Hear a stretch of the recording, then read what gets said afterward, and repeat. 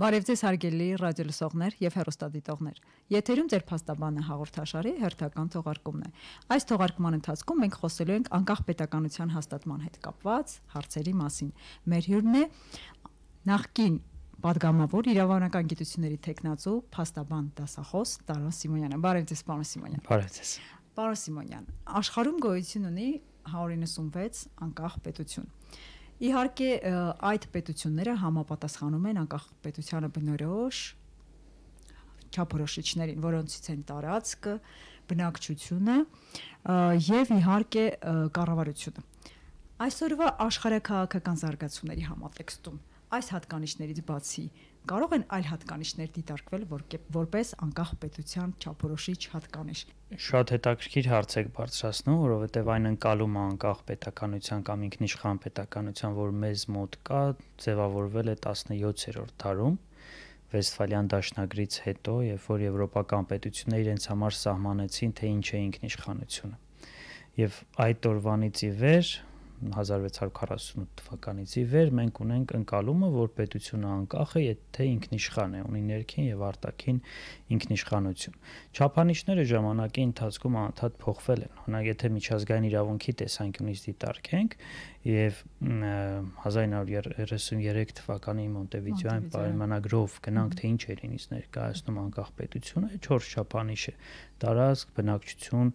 հանրային իշխանություն իդեմս կառավարության եւ այլը եւ նաեւ ճանաչվածություն այլ պետությունների կողմից։ Նաեւ միջազգային շատ աղբյուրներ տալիս են այլ պետությունների հետ բարիդրասական հարաբերությունների հաստատման հմտությունը պետության։ Դա եւս, բայց այդ բոլորը հարաբերական է, որովհետեւ միջազգային հարաբերություններում եթե մենք ուշադիր ենք լինում, կան պետություններ, որոնք չունեն այս տարերից որևէ մեկը, բայց շարունակում են լինել անկախ պետականություն, հա։ Եվ նույն միջազգային իրավունքը թե դոկտրինալ աղբյուրներում, թե կիրառական պրակտիկայում այդքան խիստ չի վերաբերում չափանիշների արկայությանը, անգամ սահմանների հստակությանը եւ այլ հարցերին, հա կամ կառավարությունների ճանաչելիությանը։ Դրա համար պետք է կոնկրետ դրվագով դիտարկենք տվյալ հարաբերության համատեքստում կոնկրետ պետությունը ունի ինքնիշխանություն, թե ոչ։ Շատ լավ։ Եթե մենք դիտարկում ենք անկախ պետության իրավական կարգավիճակը, որի տարերից են, բաղադրիչներից են պետականությունը եւ ինքնիշխանությունը, երկու հարց ունեմ։ Նախ այդ երկու հատկանիշների դուք նշեցիք արդեն ինքնիշխանությունը ներքին եւ արտաքին սրա մասին առանձին կխոսենք այ պատերազմական ժամանակահատվածում կարող է ուղակի սպառնալիք լինել այս բաղադրիչներին թե ոչ այո որովհետեւ մենք ունենք նույն ՄԱԿ-ի կանոնադրության երկրորդ հոդվածում ամրագրված հիմնարար սկզբունքներ, որոնցից մեկը եւ տարածքային ամբողջականության հետ համադրվող սկզբունք է քաղաքական ինքնիշխանության սկզբունքը եւ պատերազմը ինքնին վտանգ է սպառնում մեկ այլ պետության քաղաքական ինքնիշխանությանը, որովհետեւ ուժի կիրառման միջոցով փորձ է արվում մեկ այլ պետության քաղաքական կամքի վրա ազդեցություն գործադրել, ընդհանուր միջև նրա նրան պարտադրել որոշակի որոշումներ։ Սա ուղղակիորեն ինքնիշխանության խախտում է եւ հետեւաբար պատերազմները, որոնք միջազգային անկի խախտմամբ են սկսել եւ շարունակվել, ուղղակիորեն խախտում են ամբողջ արկա այսօրվա միջազգային իրավակարգը եւ ոտնձգություն են փաստացի պետությունների ինքնիշխանության նկատմամբ։ Շատ բարի։ Եթե պրոյեկցենք անկախ պետությունների իրավական կարգավիճակի բաղադրիչներից պետականությունը մեր իրողության վրա այսպիսի մի հարց ունեմ. Հայ ազգը հայ մարդը որքանով է այդ պետականության կրողը այսօր ինչքանով է պատրաստ այ արժևորել պետականությունը այսօր եւ ինչպիսի պետական գաղափարախոսական ծրագիր կա այսօր այս ամենի հիմքում կամ տարիներ ի վեր Էլի շատ խորքային հարց եք տալիս, որովհետև այդ հարցին պատասխանելու համար առնվազն մենք 7 կամ 6.5 դարվա պատմություն պետք է վերլուծենք մեզանում հասկանալու համար։ Հետո մեր հանրությունը տարբեր իրավագիտակցության մարդկանցից է բաղկացած եւ բարձր եւ ցածր եւ միջին, եւ եթե փորձենք վերհանենք միջին վիճակագրական հայի պատկերացումները, միջինացված պատկերացում է մեզ մոտ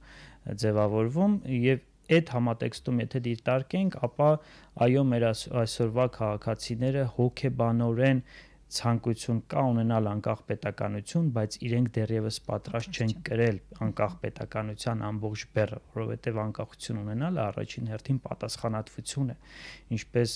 երեխան է անչափահասությունից անցնում չափահասության եւ իր գործողությունների համար սեփական պատասխանատվություն է կրում, այնպես էլ ոչ անկախ հանրույթները, երբ որ անկախություն են ձեռք բերում, քաղաքացիները իրենց ուսերին պետք է կրեն այդ անկախության պատասխանատվություն եւ իմանան, որ իրենց գործողությունների հետևանքները ամբողջությամբ իրենք են կրելու, այսինքն եթե կա խնդիր իրենց պետականության արժև ծառացած, իրենք պետք է այդ հարցը լուծեն։ Եթե կա ֆինանսական դժվարություն, իրենք պետք է հարկային պարտականությունները ճիշտ կատարեն, որpիսի արտաքին մարտարավերներին կամ ներքին մարտարավերներին ճիշտ դիմագրավեն։ Եթե հասարակությունն ու հանրույթը ուզում է ինքը ոչինչ չանի պետության համար, բայց ստանա պետական ամբողջ աջակցությունը, բնականաբար մենք խոսում ենք ոչ այդքան չափահաս հանրության մասին եւ քաղաքացու մասին ես ես այդ լեովին համամիտ եմ, որովհետև հանրությունը այս իմաստով մնում է շարունակաբար պահանջատեր, բայց որպես պարտավորության գրող կատարող ինքը հանդես չի գալիս որպես այդպեսին այդ իրավահարաբերություններում եւ ես կուզենայի հիշատակեի ձեր կողմից հեղինակած Արբանե աշխատությունը, Արբանե խորագրով աշխատությունը, որը ըստ էության վերլուծում է պետականության հետ կապված սոցիալ իրավական, հա, պատմական նաեւ հիմքերը։ Իհարկե պետք է ասեմ, որ դեռևս լրիվ ծանոթ չեմ աշխատությանը, բայց կցանկանայի, որ เป զի դուք ներկայացնեք նաև այս կոնտեքստում արդյոք հայոց պետականությունը նաև այդ ժամանակահատվածի ընթացքում, որ մենք ունեցել ենք, հա, մեր պատմական ուղին հաշվի առնելով վերաիմաստավորելու այդ հատկությունը այնուամենայնիվ ձևավորվել է ավելի հասուն ձևով։ Իհարկե դուք շատ լավ պատասխանեցիք, նշեցիք, որ միջին քաղաքացու մակարդակով մենք դա չունենք, բայց եթե մասնագիտական շրջանակների այսպես կոնտեքստում նայենք, ինչպեսին է այստեղ վիճակը այն հետազոտությունը, որ կատարել եմ գրքում, ինքը վերաբերում է քաղաքակրթական հասունացման համատեքստում ազգային հանրութի կողմից պետականության ձևավորման գործընթացին։ Դա մեկ օր չէ, մեկ պահ չէ անկախության ընդունման հրճակագիրը չէ, դա միգուցե տասնամյակներով, երբեմն հարյուրամյակներով ընթացող գործընթաց է, որ սերնդես սերունդ հասունացնում է եւ բերում է ինչ որ մի սերնդի, որ ինքը վայելի անկախության պտուղները եւ նաեւ կատարելագործի այդ էվոլյուցիոն շղթայում, եթե մենք դիտում ենք մեր պետականություն ունենալու եւ այդ պետականությունը զարգացնելու ներքին պահանջը, ապա կարող եմ ասել, որ մեր հանրույթի ավելի այսպես խորքային գիտելիքներով ոչտված մարդիկ, ովքեր որ լոկոմոտիվն են միշտ լինում ազգային այսպես գիտակցության, նրանք դա առաջ տարել են եւ նրանք արտահայտել են իրենց գաղափարները, իրենց խոսք, իրենց գործը հիմնականում մտավորական շերտում եւ հենց նրանց ջանքերի շնորհիվ է որ մենք նո սկսած երևի 19-րդ դարի կեսերից կամած քայլ առ քայլ աստիճան այլ աստիճան կառուցում ենք մեր պետականությունը ու կարող եք անգամ դիտարկել Թումանյանի, Իսահակյանի, Նալբանդյանի ջանքերը այս ուղությամբ եւ այսօրվա մեր արկա պետականությունը հենց նաեւ 100-150 տարվա առաջվա շարժումների արդյունքներ, մտքերի գոհարների արդյունքներ, նաեւ հայդուկյան շարժումների եւ այլ եւ այլ, հա։ Այս համատեքստում դա գործընթաց է, process է, որը խորքային պետք է դիտարկել եւ չպետք է մակերեսային ամեն ինչը վերլուծել։ Պարզապես ժամանակ առ ժամանակ, ինչպես ու մաթեմատիկական տերմինաբանությամբ ասած սինուսոիդի պես, եթե այսպես կոորդինատային հարթությունում տեսնում ենք, վերելքների եւ վայրեջքների շրջան է ունենում հասարակական գիտակցությունը։ Եվ այդ վերելքի շրջան ինքը նույնանում է հենց գիտակցության ձեռքբերման եւ ամրապնդման համար, որը նույնն է անկախություն ունենալը, պետականություն ունենալը, որովհետև պետականություն կամ անկախություն չունեցող հանրույթները նման են գիտակցությունից զրկված անձի, հա? Եվ երբ որ մենք արդեն առանձին անհատների կամ խմբերի ջանքերի շնորհիվ ձեռք ենք բերում պետականությունը ասել է թե գիտակցությունը, կանգնում ենք դրա զարգացման արտարավերի արժև բայց էս էլ իսկ զարգացման փուլը որքանով է հարթ ու գիտակցված գնում որտեվ սա էլ ինչպես պատմությունն է ցույց տալիս սա էլ է խնդրահարույց փուլ եթե պատմության կամ ժամանակի ղեկը լինում է մտավորականների ձեռքում շատ ավելի կազմակերպված է Եթե դա թողնվում է ինքնահոսի, այսինքն այսպես ոչ հստակ պատկեր ունեցող հանրույթի, երբեմն ասում են ամբող կամ մարդկային զանգվածներ եւ այլ եւ այլն, այդ պարագայում ավելի շատ երևույթներն են մարդկանց առաջ տանում, քան մարդիկ են երևույթները առաջ տանում։ Եվ ինքնաոսի տրվելու պարագայում երբեք վերև չես գնում, հա, ինչպես գետի հոսանքին որ տրվես, գետը երբեք վերև չի գնում, չէ՞, միշտ ներքև է իջնում։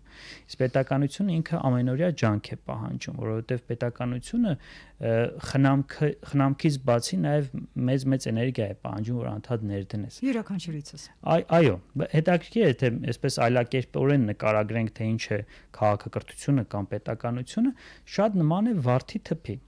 Եթե վարդի թուփը մշակում ես, ինքը վարդ է լինում, ծաղկում է, ավելի է մեծանում, գերեզկանում, հա։ Եթե չես մշակում վարդի թուփը, ինքը մասուր է դառնում։ Հա, փշոտ եւ միգուցե օգտակար է երբեմն նաեւ մասուրը, հա, բայց ինքը վարդ չէ։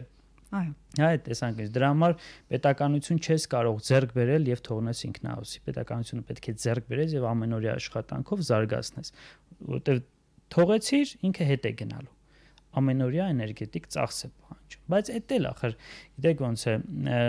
յուրաքանչյուր համակարգ ձևավորելուց կամ պետություն ձևավորելուց անկախություն ձեռք բերելուց հետո մարտարավերների այսպես շարք կա եւ եթե ուսումնասիրում ենք աշխարհի բոլոր պետությունների անցած ճանապարհը գրեթե նույն օրինաչափություններն են դրսևորվում մեզանում էլ է ես կարող եմ օրինաչափություններ բերեմ տեսեք թե ինչ նույնական է հայկական միջավայրը մի քանիսը նշենք ասենք առաջին մարտարավերը որ բոլոր պետությունները ու ազգերը կարելի ասել տեսնում են իրենց արժեվ բնական մարտարավերն է հիմնականում բնական աղատները Երբ որ բնական աղետը դու հաղթարում ես, դու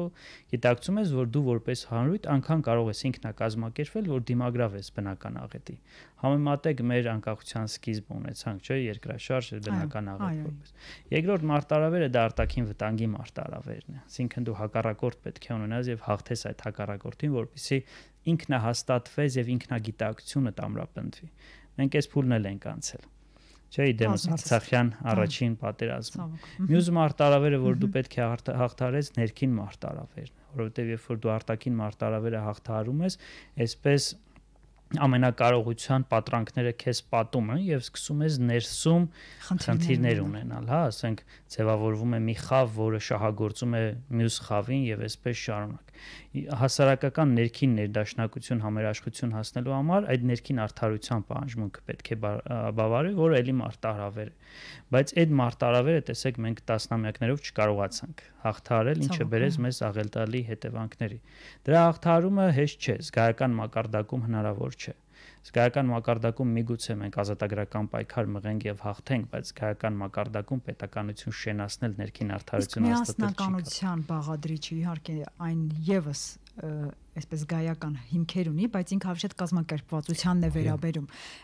Մենք այստեղ էլ ենք տանուր տալիս ամեն անգամ, որտեվ մենք հավաքական խոհեմություն, միասնականություն դա այսօր չէ որ միայն չունենք։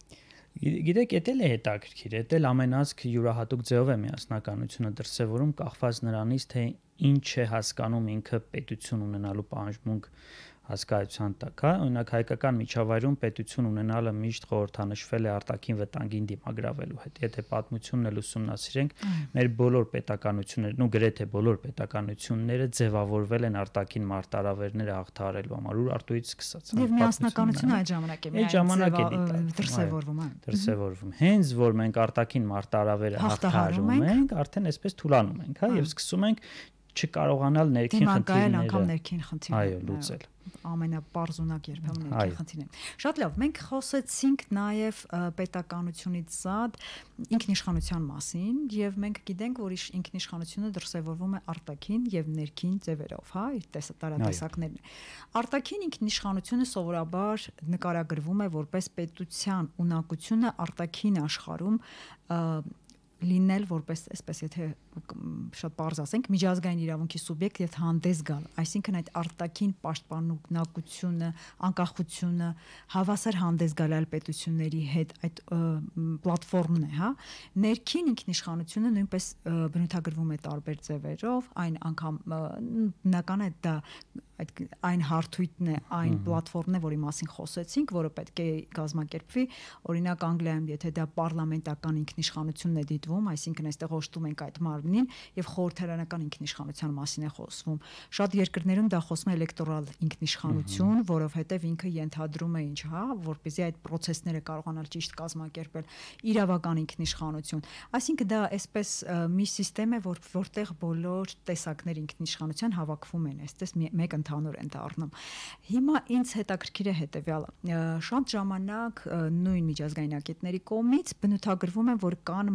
այսպես խնդիրներ, հակասություններ արտաքին ինքնիշխանության եւ ներքին ինքնիշխանության։ Իհարկե դա զուտ մոտեցումներից մեկն է, բայց այնուամենայնիվ այստեղ ինքնիշխանության հետ կապված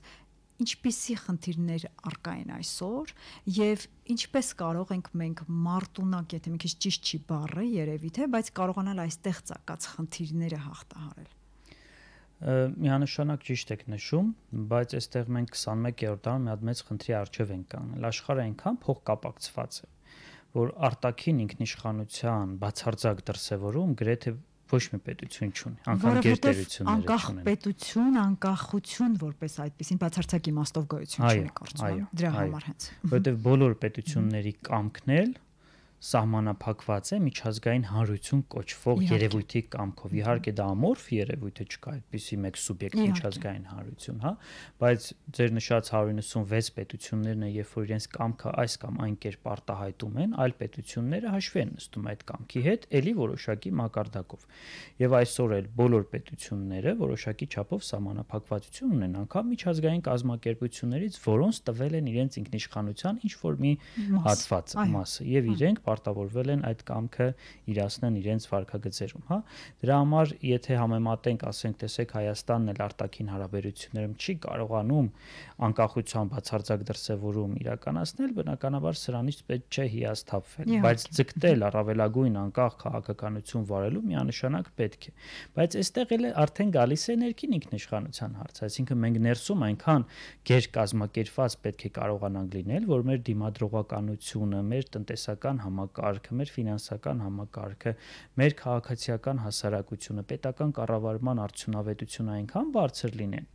որ կարողանանք այդ բարձրության մակարդակից արտաքին ինքնիշխանությունը լիարժեքորեն դրսևորենք, բայց իմ նշած բոլոր մակարդակներում մենք շատ-շատ խնդիրներ ունենք։ Անկամ տեսեք ներքին ինքնիշխանության գործում մենք ասում ենք, որ դա երբեմն նույնանում է իրավունքի գերակայության հետ, չէ՞, որտեղ ազգը իր կամքը արտահայտում է օրենքներով եւ այդ օրենքները պետք է գերակա լինեն հանրությունում, բայց արի ու տես, որ դեռևս մենք ունենք տեղերում հարաբերություններ, որոնք չեն կառավարվում օրենքով, իրավունքով եւ երբեմն պետական կառավարչական հիմնարկը չի կարողանում պարտադրել օրենքի կամքը այդ հարաբերության մասնակիցներին, հա։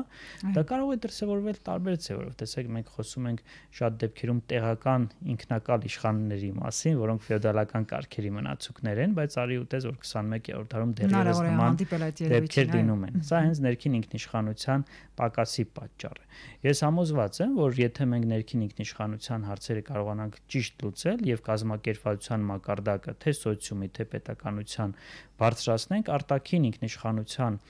այսպես սահմանները շատ ավելի մեծ կլինեն, քան այսօր մենք ունենք։ Շատ բարի, ես հիշեցնեմ մեր ռադիոլսողներին եւ հեռուստադիտողներին, որ ձեր փաստաբանը հաղորդաշարի եթերում մենք խոսում ենք այսօր անկախ պետականության հաստատման հետ կապված որոշակի իրավական հարցերի մասին։ Մեր հյուրն է նախկին падգամավոր դասախոս փաստաբան իրավաբանական գիտությունների տեխնացու Տարոն Սիմոնյանը։ Պարոն Սիմոնյան, հայոց պետականության և, հաստատման ճանապարհին մենք այսօր պետք է խոսենք հատկապես որ մի քանի օրից մենք նշելու ենք անկախության տարեդարձը 30-ամյակը պետք է առանձնացնենք հետեւյալը մենք 90-ականներին 90 թվականի օգոստոսի 23-ին ընդունվեց անկախության հռչակագիրը այս գործընթացից հետո հաջորդեց այն ամբողջ գործընթացը, որը բերեց նրան, որ 91 թվականի սեպտեմբերի 21-ին տեղի ունեցավ ԽՍՀՄ կազմից դուրս գալու վերաբերյալ, հա, անկախ պետություն հաստատելու հանրակրվեն անցկացվեց, արձանագրվեց, որ անկախ ազատ ընտրություններ են տեղի ունեցել թափանցիկ եւ նաեւ հայ ժողովուրդը իր բացարձակ մեծամասնությամբ կամ քարտը այտեց եւ կողմ գնաց, որպեսզի դուրս գանք ԽՍՀՄ կազմից։ Իհարկե ես այստեղ հետեւյալն եմ ցանկանում ուղղել այսպիսի հարց։ Մեր հանրությունը, չգիտեմ որքանով էր այդ ժամանակ իսկապես անկախության պատրաստ, թե պատմականորեն քաղց ուներ վերականգնելու այդ անկախությունը, բայց իմ հարցը ավելի շատ այս պահին հետեւյալն է։ Երբ որ մենք անկախացանք ԽՍՀՄ-ից, անջատվեցինք, այդ process-ը տեղի ունեցավ միութենական հանրապետությունների բոլոր հանրապետություններում։ Ֆիքսվում է, որ կա որոշակի առանձնահատկություն այս իմաստով, որը որ բնորոշ էր Հայաստանի Հանրապետությանը։ Որն էր այդ առանձնահատկությունը։ Դե շատ են այդ առանձնահատկությունները, կարելի է նշել, որ օրինակ ի տարբերություն շատ այլ միութենական պետությունների մենք անկախության հրճակագրում սահմանեցինք, որ ոչ թե մենք միանգամից հրճակում ենք մեզ անկախ, այլ մենք հրճակում ենք անկախության գործընթացի սկիզբը։ Այսինքն իրականում սա ճիշտ մոտեցում է, որտեղ մենք դիտարկեցինք անկախությունը գործընթաց, որը ունի սկիզբ, բայց ավարտ չունի որպես այդպեսին, հա, ինքը անընդհատ կատարելագործվող շարունակական գործընթաց է։ Սա առաջին կարևոր առանձնահատկություններից մեկն է։ Մյուս կարևոր առանձնահատկությունը, որ մենք մեր իսկ անկախության հրճակագրով դրեցինք սկիզբը մեր պետության փիլիսոփայության, հա, կարելի ասել մեր երրորդ հանրապետության գենետիկ, այսպես կոդը դրեցինք թե ինչպիսին պետք է լինի այդ պետականությունը եւ դրեցինք հիմնականում նախկինում չարված գործերը անելու առաքելությամբ։ Այո դա արտահայտվեց ցեղասպանության ճանաչման գործընթացի Արցախի միավորման հարցով, մարդու իրավունքների հիմնախնդիրները բարձրացնելու, պաշտպանելու եւ մնացած այլ հարցերով։ Էլի առանձնահատուկ դեր ունի այն, որ ի տարբերություն էլի այլ ԽՍՀՄ նախկին պետությունների մենք դրեցինք տարածքային հարց, որտեղ այլ պետություններում դա հիմնականում շատ չէր դրսևորվում եւ մենք նշեցինք, որ նյութենական պետություն որպես երբ որ դուրս են գալիս, մենք դուրս են գալիս նաև Արցախի հետ միասին եւ դառնում ենք մեկ միասնական պետություն։ Սա իհարկե մեր ամբողջ 3 տասնամյակ գոյություն ունեցող պետականության փիլիսոփայությունն է։ Եվ եթե մենք Արցախի հարցը տարանջատենք Հայաստանի Հանրապետությունից, ինքնին ամբողջ փիլիսոփայությունը փլվում է մեր երրորդ հանրապետության, հա։ Եվ ավելին, եթե տարանջատենք այն կարևոր առաքելությունը, որ ստանձնել է երրորդ հանրապետությունի դեմս աշխարհասփյուր հայության շահերի պաշտպանության եւ պատմական արդարության վերականգնման հարցերում, ելի փիլիսոփայությունը ամբողջությամբ այսպես փլուզվում է։ Դրա համար ես չեմ կարողանում հասկանամ այն գործիչներին, ովքեր որ ասում են, որ կան հարցեր, որոնք պետք է Հայաստանի Հանրապետությունը չզբաղվի։ Չի կարող չզբաղվել, որովհետև դա իր հենց գենետիկ կոդն է, ինչի համար ինքը ստեղծվել է։ Բայց այստեղ էլ որոշակի մենք խնդիր ունենք, որովհետև երբ որ ի սկզբանե ծանր բեռ ենք դնում հանրության ուսերին, որը որ չի կարողանում դա տանել կամ երբեմն չի գիտակցում դրա ծանրությունը, հետո է գիտակցում, առաջանում է խնդիր. արդյոք այս պետականությունը, որ մենք ստեղծել ենք, ուզում է այս հանրությունը, թե չէ։ Օրինակ, եթե այ դուք շատ ճիշտ հարց բարձրացայինեցիք, մենք պատրաստ ենք այն անկախության, որը ձեռք բերեցինք կարծես թե մենք պատրաստ ենք զգայական մակարդակում, բայց չենք պատկերացնում դրա ծանրությունը, դրա համար խնդիրների ավելի շատ խնդիրներ ունեցանք, քան դրանց հնարավոր լուծումները։ Եթե լավ պատկերացնենք, մենք անկախության առաջին տարիներին ջանասիրաբար չէինք քանդի այն տնտեսական համակարգը, որը որ մեզ խորհրդային միությունը տրամադրել էր եւ իրականում մեր միգուցե 2000-ամյա պատմության ընթացքում ամենահաջողված տնտեսական համակարգն էր, որ կառուցվել էր, նաև մշակութային համակարգի։ Այո, եւ ոչ միայն։ Եվ ոչ միայն։ Ու արի ու տես, որ մենք փոխանակ այդ ամեն ինչը զարգացնենք եւ գոյություն ունեցող արդեն ֆունդամենտի հիման վրա նոր ուժեղ վերնաշենք կառուցենք։ Սկսեցինք քանդել ֆունդամենտը եւ որոշակի վերնաշենքային կառուցվածքային տարեր ավելացնենք, բայց եթե ֆունդամենտը թույլատնում ես, չես կարողանա վերնաշենքը նորմալ կառուցես, հա։ Համամիտ եմ ձեզ հետ։ Ինձ շատ դուր եկավ այդ գենետիկ կոդը, որը որ նշեցիք անկախության հրճակագրում, ես երևի օրինակ ինքս կձևակերպեի որպես ազգային ինքնության կոդ, որը դրված է այդ անկախության հրճակագրում։ Հետաքրքիր է հետեւյալը, պարոն Սիմոնյան, նայեք, հետագայում ընդունված սահմանադրությունը եւ օրենքները. Դրանք կարող ենք համարել անկախության հրճակագրի օրգանական շարունակություն, թե ոչ։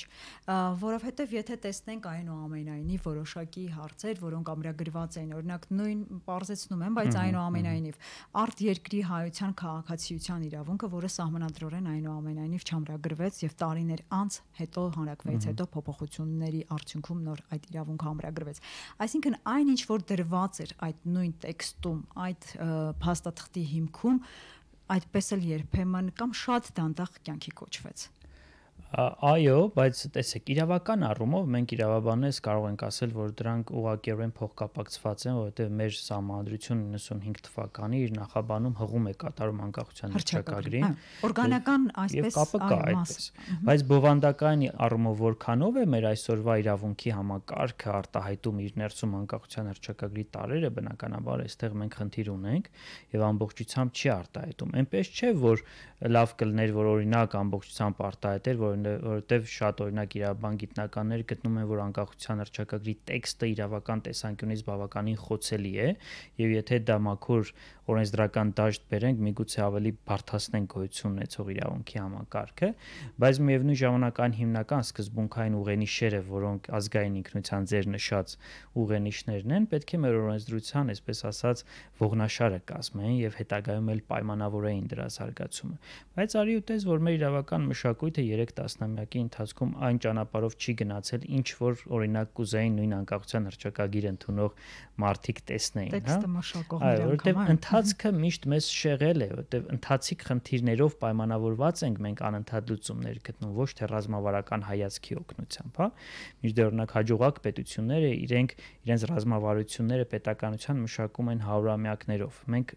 մի տարով էլ չենք կարողանում մարտավարություն մշակենք հարևան պետություններից Թուրքիան, որը որ վերջերս էլի 100 տարվա։ Այո, այո։ Դա հենց պետական պետականության մշակույթի արկայությունն է։ Իրանը, Թուրքիան, այս խոշոր պետությունները իրանք հասկացել են, որ պետականությունը տասնամյակի հարց չէ դու, եթե պետականության ռազմավարությունը ես մշակում առնվազն 100 տարին դեմդ պետք է ունենաս եւ դրանով պայմանավորված այսօրվա գործողությունները կատարես։ Թե չէ թե մենք չգիտենք թե որ հանգրվան են գնում, ոչ մի քամի մեր առագաստանավին օգուտ չի բերի, չէ՞ Ցավոք համամիտ եմ եւ քանի որ հաղորդումը մոտեն մեր ավարտին, վերջին երկու կարճ հարցս։ Քանի որ անկախության հռչակագիրը նաեւ իրավաքաղաքական տեքստ է, իհարկե չպետք է լոկ այսպես քաղաքական դրույթներ ամրագրի, բայց այնուամենայնիվ քաղաքական կողմներոշումը պետք է ցույց տա, բայց դրանից զատ ամենակարևոր նաեւ նպատակներից է սոցիալական հանրության զարգացման դինամիկան ուղենշի մենք որքանով շեղվեցինք այդ դինամիկայից այս հարցի եթե կարելի կարճ եւ վերջինը մենք դարձ մենք անկախություն հաստատեցինք դարձանք որպես միջազգային իրավունքի սուբյեկտ հա ճանաչվեցինք ԱՄՆ Ռուսաստան Կանադա մի շարք այսպես պետությունները հերթով ճանաչեցին սկսեցին կանթամակցել միջազգային կազմակերպություններին ՄԱԿ ավելի ուշ ԵԽ մենք այստեղ արդյոք կարողացանք մեր ինքնիշխանության անկախության այդ գեր գործառույթը կատարել Սկսեմ առաջի հարցից, չնայած չեմ կարող կարճ պատասխանել, դժվար է, բայց ամեն դեպքում հնարավորության դեպքում այո, նշեմ, որ դեռ այն ժամանակ, երբ որ մենք անկախության հռչակագիր էինք ընդունում, ոչ ոք չէր պատկերացնում, որ սոցիալական արդարությունը, որ այդ ժամանակ ինչ որ չափով գոյություն ուներ, կխաթարվեր այս աստիճանի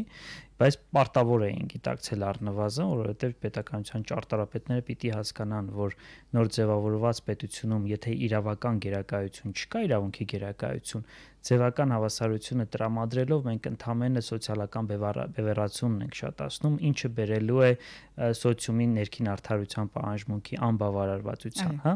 Դրա համար մեր սոցիալական դինամիկան բացասական ճանապարհով է գնացել եւ հիմնականում բևեռացում է տեղի ունեցել, հաշվի առնելով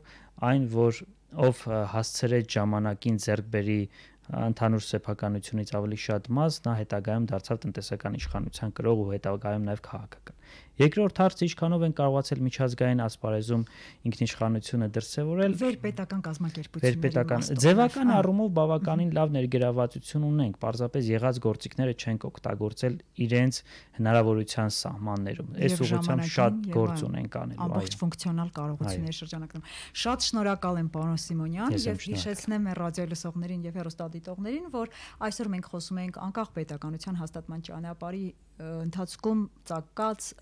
եւ առ այսօր արկա իրավական խնդիրների մասին մեր հյուրն էր Տարոն Սիմոնյանն, նախկին падգամավոր իրավաբանական գիտությունների տեխնացու դասախոս փաստաբան։ Ձեզ հետ էր Նարինե Սոլոմոնյանը։ Ցտեսություն։ Thank you